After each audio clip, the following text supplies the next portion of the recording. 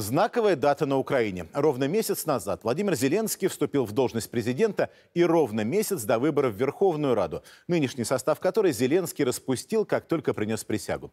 В самом деле, зачем ему парламент, за которым тень Петра Порошенко, если у молодого президента есть собственная партия, и у нее по опросам хорошие шансы. Но один лишь эффект, эффект ее новизны не остановит рост тарифов и тем более войну в Донбассе. Депутаты нынешнего созыва оспаривали указ о своем распуске, однако потерпели поражение. Юрий Липатов о предвыборных раскладах.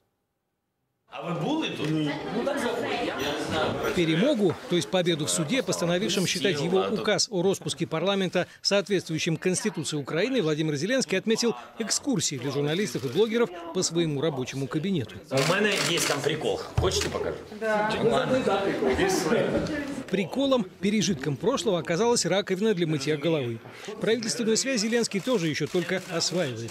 Между тем, месяц, который прошел со дня инаугурации нового президента, для большинства украинских политиков выглядел чем-то вроде путешествия между Сциллой и Харибдой, чудищами из древнегреческой мифологии. Маневрируя, убегая от одной беды, рискуешь попасть в лапы к другой. Самые шустрые, в том числе из числа бывших депутатов и чиновников, всеми силами стараются попасть либо в списки команды ЗЕ, то есть сторонников Зеленского, либо как минимум выразить облегчение в связи с уходом прежней власти. В этом смысле рекорд по эмоциональным перегрузкам должен был бы испытать Владимир Гройсман, несколько лет работавший при Порошенко премьер-министром. Но нет, перегрузок не испытал. Искренне сообщил, что с бывшим президентом они люди разные. Відповідь моя дуже проста. Ми Ответ мой різні. очень Якби ми простой. були Мы схожі, разные. Если то, бы мы безумовно, были я би одинаковыми, пішов в безусловно, команді, я пошел а, бы в об'єднаної объединенной команді команде. Социологический опрос, проведенный Международным исследовательским центром на тему «За кого бы вы проголосовали, если бы выборы в Верховную Раду проходили в ближайшее воскресенье», показывает динамику происходящего. Сторонники Порошенко и его европейской солидарности лишь на пятом месте – 6,1%. С тенденцией к снижению. Есть риск не набрать даже и 5%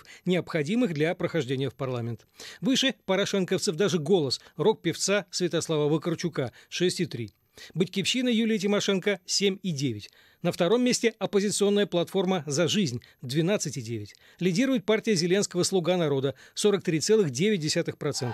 При этом избирателей мало смущает, что команда ЗЕ по многим основным вопросам не имеет четкой программы действий. Ситуацию проще всего описать фразой «Да мы же за все хорошее против всего плохого». Церемония инаугурации и месяц при власти не превратили нового президента, обещавшего понизить для населения тарифы на газ, в волшебника. Его оппоненты, между тем, а предлагают простые, эффективные действия. Есть еще волшебная палочка, как у Гарри Поттера. Махнул, и там все тарифы сняли. Ну, если без палочки, да, есть три метода. Первый – национализировать нашу родную э, добывающую отрасль. Она добывает достаточно. Второе – получить более дешевый газ с России. Мы это делаем, мы продолжаем делать, будем делать, но они же не хотят дешевый газ. Это не патриотично. Надо с вашего кармана вынуть всю сумму, иначе это не получается.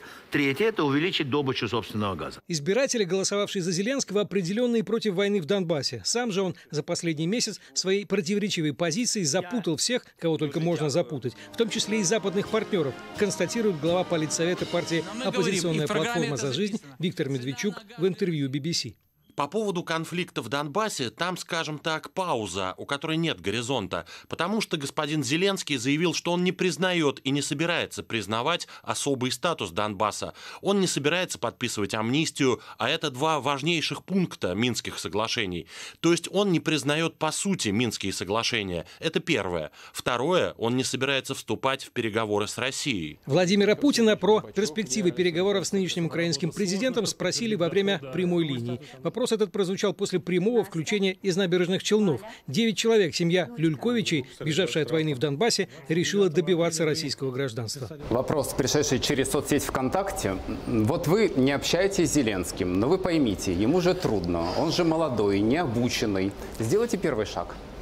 Ну, вы знаете, что я могу в этой связи сказать? Он талантливый человек. Я помню его выступление на КВН в Москве где-то в 2000-х годах, в середине где-то, по-моему. Эпизод, который вспомнил Владимир Путин, относится к 2001 году. Зеленский тогда выступал в команде КВН «95-й квартал».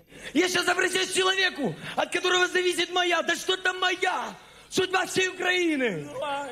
Владимир Владимирович.